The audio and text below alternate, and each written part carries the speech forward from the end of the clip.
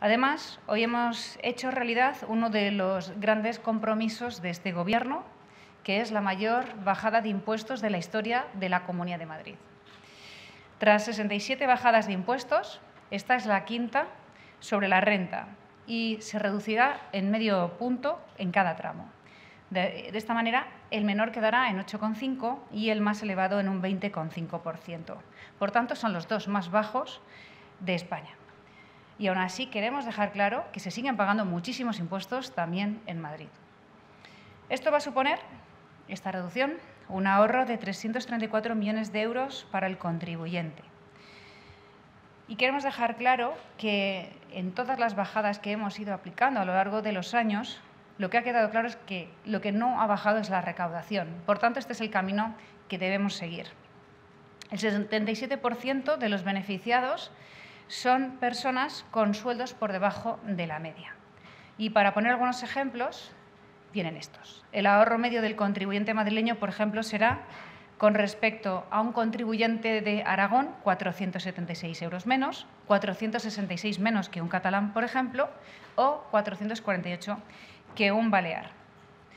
Y queremos también dejar claro que esto nos lo permite la ley de financiación, que todas las comunidades autónomas pueden hacer exactamente lo mismo y, de hecho, algunas deciden subir estos impuestos y nosotros eh, hemos optado por el camino contrario.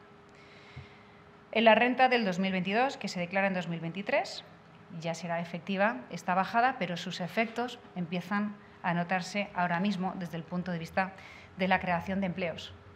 Y por otro lado, también hemos dado luz verde a otro proyecto de ley, otro compromiso de este Gobierno, con el que también queremos entendernos con Vox para sacarlo adelante. Y este está destinado sobre todo a quien está ahora mismo decidiendo dónde invertir.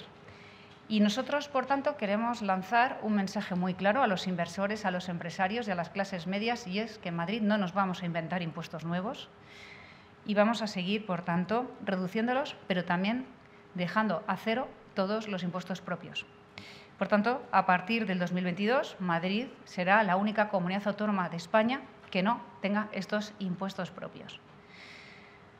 Mientras ahora mismo el Gobierno de España está decidiendo si deroga o no deroga la reforma laboral, si está jugando con el empleo de todos los españoles para contentar a unos socios o a los otros, nosotros seguimos siendo el contrapeso de libertad y de prosperidad que necesitan los españoles. Madrid sigue siendo polo de atracción para el inversor extranjero y para la empresa y somos la más solidaria y la que ha demostrado mayor capacidad de recaudación. Así que vamos a seguir siendo una región de moda, abierta, respetuosa, pujante y libre. Dejo al consejero que dé más detalles acerca de estos anuncios y de todo lo visto a lo largo del Consejo de Gobierno que acabamos de celebrar.